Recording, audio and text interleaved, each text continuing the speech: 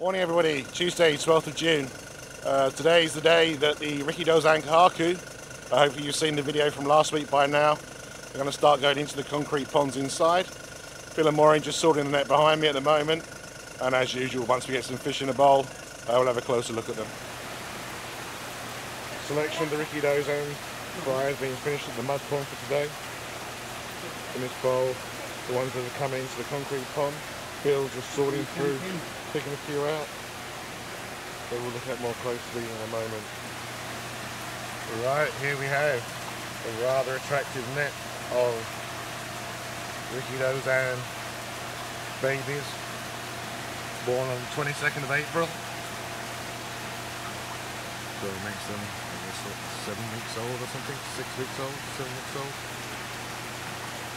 Many you could have picked out as having particularly interesting characteristics, like some qualities.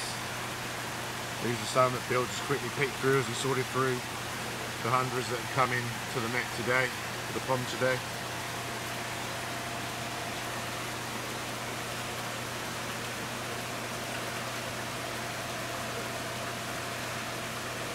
One thing that the Rikidozan babies, several of them that were kept last year, had in common were very interesting patterns.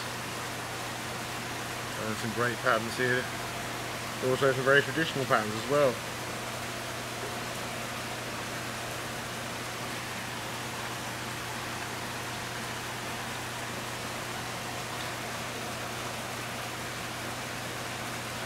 This Maruten here, one that Bill was particularly of.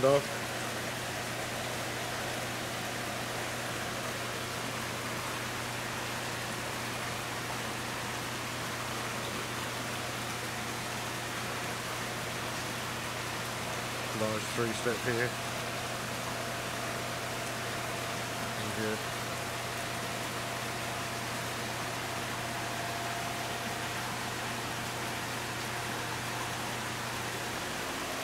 And Maureen just counting the rest of them into the net they'll stay like the other fish are coming for a few weeks before going out to the pond.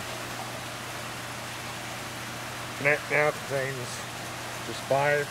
I've quickly gone through and picked out five that for those that were in the net kind of stood out a little bit to me.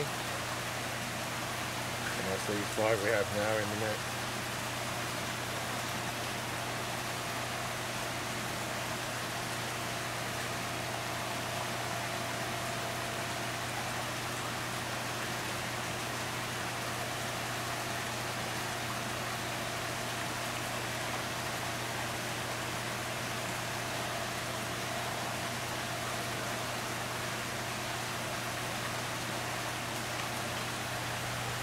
Total of 787 have come in.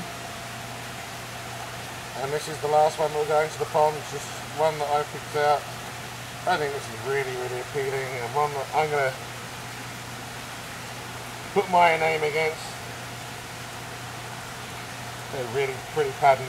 Love the way it crosses across the dorsal area there. And it works all the way back. Just under its dorsal fin on the other side, there's another white patch red there as well. So, and that's a really pretty little fish. And hopefully, pretty confident. One which we will be able to follow for some time to come here at Purdin Koi Farm. Pretty sure it's one that'll make it out to the Griot ponds. That's for definite. And hopefully, hopefully for some time beyond that as well.